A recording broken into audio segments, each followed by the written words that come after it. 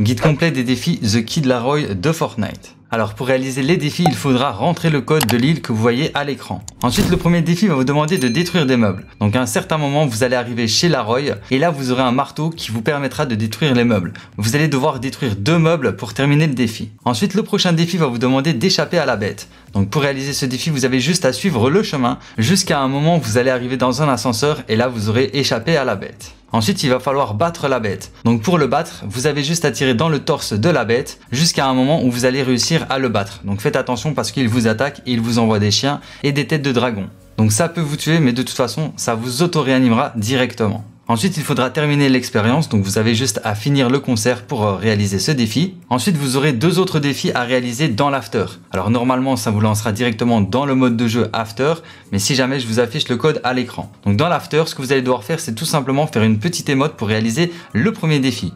Et le deuxième défi va vous demander de ramasser les notes de musique. Donc vous avez juste à suivre le chemin que je montre dans le gameplay et quand vous aurez récupéré 5 notes de musique, ben, vous aurez terminé le défi et vous aurez terminé tous les défis de The Kid Laroi.